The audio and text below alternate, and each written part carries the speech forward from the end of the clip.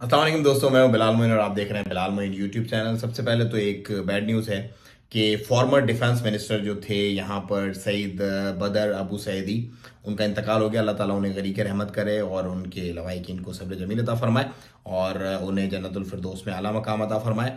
उसके बाद दूसरी जो एक इंपॉर्टेंट एक अपडेट है सल्तनत हुमान की, वो ये है कि एग्रीमेंट साइन हुआ है जॉब अपॉर्चुनिटीज़ क्रिएट करने के लिए दोफार गवर्नमेंट में और ये ओमानियों के लिए और जो उनको, जो एम्प्लॉयमेंट की अपॉर्चुनिटीज़ होंगी, जो ट्रेनिंग्स वगैरह होंगी और किस तरह से एक फ्रेशर को उठा करके आप एक जॉब में फिट इन कर सकते हैं, वो सारे मामला किए जाएँगे which is good for the country like हर मुल्क में ऐसा होना चाहिए, जहाँ पे अपॉर्चुनिटीज़ प्रोवाइड करनी चाहिए अपनी यूथ को, ताकि वो अपने जॉब के जो मामला है, जो मामला मुआश हैं, ज़िंदगी के से जुड़े हुए, उनको बेहतरीन तरीके से सर अंजाम दे सके इसके साथ ही साथ, एक मैंने आपको कल कल जी हाँ मैंने एक वीडियो अपलोड की थी लेबर कोड के हिसाब से।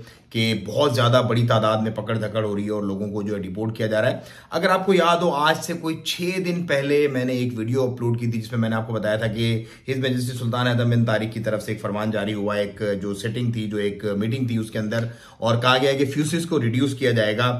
एक्सपेक्ट्स की जो यहाँ पर इन्वेस्टमेंट होगी सल्तनत ऑफ़ में उसके पॉइंट ऑफ़ व्यू से। सो उसके साथ ही साथ मैंने क्या कहा था कि भाई, मैं कुछ दबे लफ्जों में आपको बात समझा रहा हूँ। कि जहाँ पर आसानियाँ आती हैं वहाँ पर सख्तियाँ भी उसके साथ आती हैं।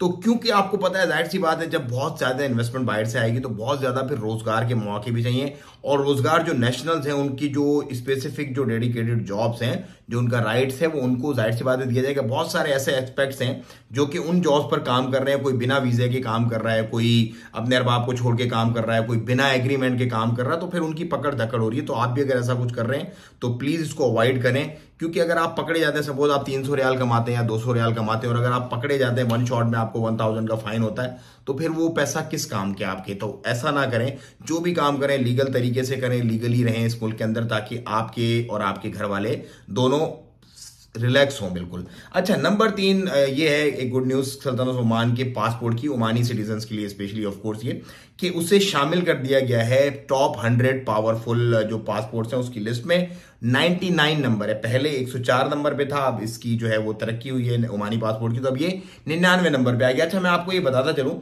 कि जो दुनिया का जो मोस्ट समझ लो कि कंट्रीज़ का वीज़ा फ्री जिस जिस पासपोर्ट पे होता है, वो जापान का है, जो कि एक सौ तिरानवे ममालिक के अंदर वीज़ा फ्री एंट्री और साथ ही साथ सिंगापुर भी सेम पोजीशन पे है, जिसकी 193 कंट्रीज़ में 193 कंट्रीज़ में वीज़ा फ्री एंट्री होती है, उसके बाद साउथ कोरिया है, जर्मनी है, स्पेन है, फिनलैंड है, इटली है लेग्जमबर्ग है, और उसके साथ ही बहुत सारे और ममालिक हैं। लेकिन यूनाइटेड अरब एमरेट्स जो है यूनाइटेड अरब एमरेट्स इस खत्ते का सबसे मोस्ट पावरफुल, आप कह लें, इन सेंस एक पासपोर्ट है, कि जिसके लोगों की एंट्री जो है, दुनिया में एक अठहत्तर मुल्कों में वीज़ा फ्री एंट्री है। जी हाँ यूएई के पासपोर्ट के लोगों की 178 ममालिक में visa free entry which is a great thing like अच्छा एक मैं चीज़ और आप लोगों को बता दूँ।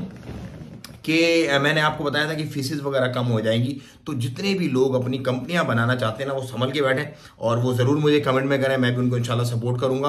और इस बीच आपने नौसरबाजों से बड़ा बच के रहना क्योंकि बहुत सारे ऐसे लोग हैं कि जो बोल रहे हैं कि मैं ऐसे बनवा दूँगा, मैं ऐसे कर दूँगा, लेकिन वो at the end of day क्या होता है कि वो स्कैम पर जाके बात खत्म होती है और फिर उनको कुछ हाथ नहीं आता बंदों को।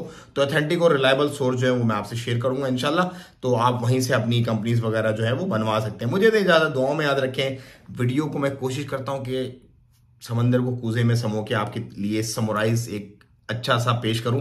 तो यही मेरी पूरी कोशिश होती है। उम्मीद है आज की वीडियो आपको अच्छी लगी। अच्छी लगी तो चैनल को सब्सक्राइब करें वीडियो ज़्यादा शेयर करें। दुआ में याद रखें, अपना और अपनों का बहुत ख्याल रखिएगा। मुलाकात होगी कल आपसे। असल वरहमतुल्ला